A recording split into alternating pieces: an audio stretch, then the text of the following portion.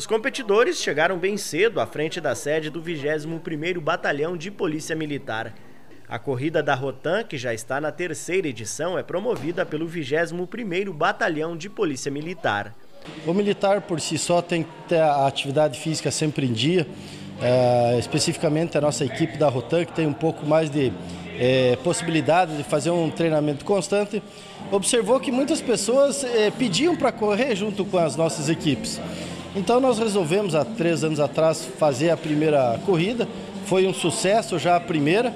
O beltronense Roberto Chaves chegou antes das 7 da manhã para participar pela segunda vez da corrida.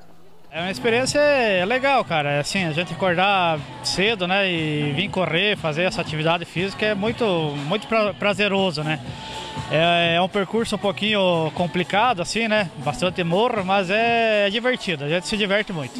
Neste ano, a corrida contou com uma categoria a mais para pessoa com deficiência.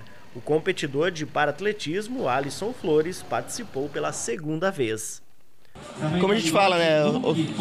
A gente treina todo dia praticamente e na hora da prova no domingo a gente tenta entregar o máximo que do desempenho que a gente tenha durante a, durante a semana para tentar fazer o melhor tempo na prova, né?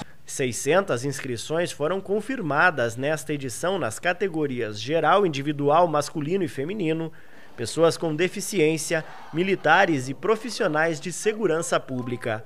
O percurso foi de 5 quilômetros, passando pelas ruas Marília e Tenente Camargo, na região central do município. Todos os participantes receberam medalhas e os cinco primeiros colocados na geral receberam premiações em dinheiro de 200 a 600 reais.